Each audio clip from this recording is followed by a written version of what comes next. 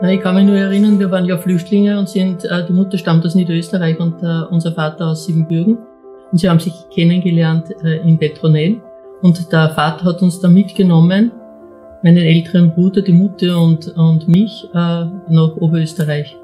Und auf, wir sind dann gelandet in einem Bauernhof in dem Schüttkasten am Magdalenerberg. Und dann ist der Vater nachgekommen, hat dort die Mutter geholt und hat geschaut, dass er irgendwo zu arbeiten beginnen kann. Und da gibt's ein Gasthaus Rankleiten, wo auch dabei war eine, ein Elektrizitätswerk an der Alm, das kaputt war. Und der Wirt hat zu unserem Vater gesagt, wenn du das reparieren kannst, dann darfst du eine Baracke da aufstellen. Ja, ich habe äh, irgendwo einen Platz gesucht, wo man einen Betrieb errichten könnte. Während ich von Gmunden heimgefahren bin, bin ich über die Rankleiten gefahren, das Gasthof Rankleiten.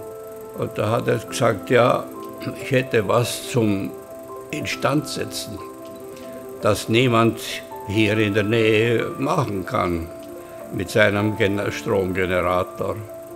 Und das habe ich dann ihm versprochen und habe es gemacht. Und dann hat er mich nicht mehr weggelassen. Und so bin ich dann in Bettenbach geblieben. In Grünau war, war ja die, äh, das Endstadium des Krieges und dort ist eine Wehrmachtsbaracke gestanden und diese Baracke hat er dann von mhm. dem von dem Sägewerkbesitzer bekommen für die Reparatur des Radios. Und die hat er dann heraufgeführt von der Grünau in die Rangleiten und dann ein Stückchen besser ausgebaut. Wir haben dann Unten war die Werkstätte auf der einen Seite, auf der anderen Seite Küche und Wohnzimmer und im, im Giebel haben wir geschlafen. Man kann sich das ja gar nicht vorstellen, wenn man die Baracke jetzt sieht, auch ich auf den Fotos. Ich habe das viel, viel größer in Erinnerung, nicht so, wie es jetzt dort ja. ausschaut. Dann sind wir eben von Bettenbach äh, aus der Baracke ausgezogen und umgesiedelt nach Bettenbach mit einem Pferdefuhrwerk. Also vorne zwei Pferde, dann der Leiterwagen und ich kann mich noch erinnern über den Holzgaster, das ist damals eine unbefestigte Schotterstraße gewesen. Äh, da bin ich hinten äh, am Giebel vom, äh, von dem Pferdefuhrwerk gesessen. Das war meine größte Freude, dass ich da nicht hinauf, selber hinaufgehen musste, sondern die Pferde haben da hinaufgezogen.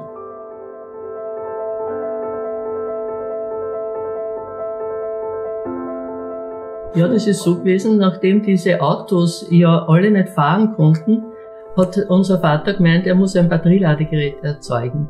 Und so hat es mit den Batterieladegeräten angefangen, damit er die Batterien laden kann und die Autos wieder fahren können.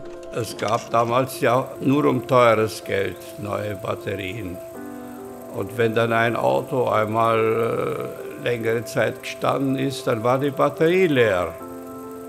Dann haben die Leute sie wegschmeißen wollen und so weiter. Da habe ich gesagt, ja, das geht nicht mehr.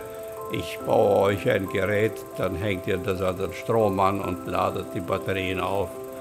Das hat sich dann herumgesprochen in der ganzen Gegend und dann war ich ausgelastet. Die äh, Batterieladegeräte sind die ersten, sind ja aus Holz, mit einem Holzgehäuse gewesen und er hat äh, eben dann aus einem nicht mehr funktionsfähigen Radioapparat den Trafo ausgebaut, hat dahinter einen Selengleichrichter und das eben in einem Holzgehäuse untergebracht und so konnte man wieder Batterien behelfsmäßig laden. Die Ladegeräte sind dann von ihrer Leistung her äh, ja am Anfang gering gewesen.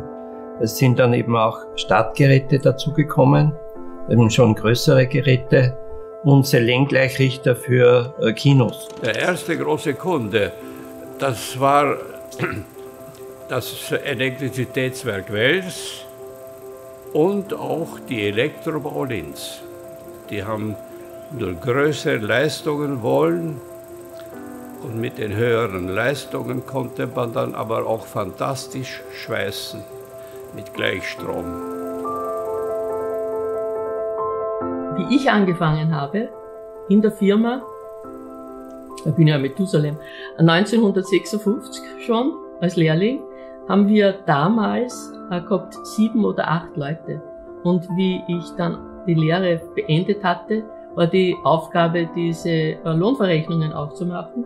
Und eben da weiß ich noch, das war, waren nur acht, dann auf einmal zehn, dann 20 und dann haben wir mit dem Vater gesprochen, da waren wir einmal die Firma haben und 50 Mitarbeiter. Bitte. Das ist Schritt für Schritt begonnen worden. So wie die Aufträge für die Geräte, die ich entwickelt hatte, immer mehr wurden, habe ich schon gewusst, ich brauche jetzt nicht 10 Mitarbeiter, sondern ich werde 20 Mitarbeiter brauchen.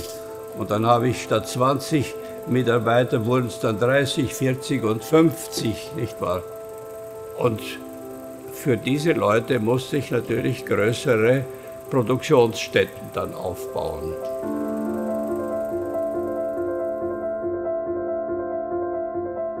Also unser Vater war ja sehr kreativ, aber unsere Mutter hat dann immer den Geld nachlaufen müssen.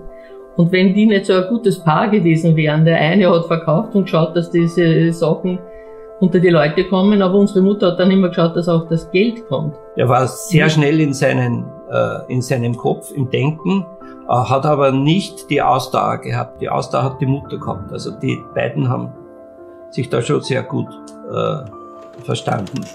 Also ich war ein bisschen vorsichtig. Ich habe immer erst dann gebaut, wenn finanzielle Sicherheit und Reserven vorhanden waren. Und so wie ich etwas mit hundertprozentiger Sicherheit wusste, dass es sich entwickeln wird, dann habe ich das meiner Frau auch beigebracht und sie gefragt, ob sie, was sie dazu sagt, und sie hat zugestimmt. Und dann haben wir gemeinsam äh, diese Ziele verfolgt.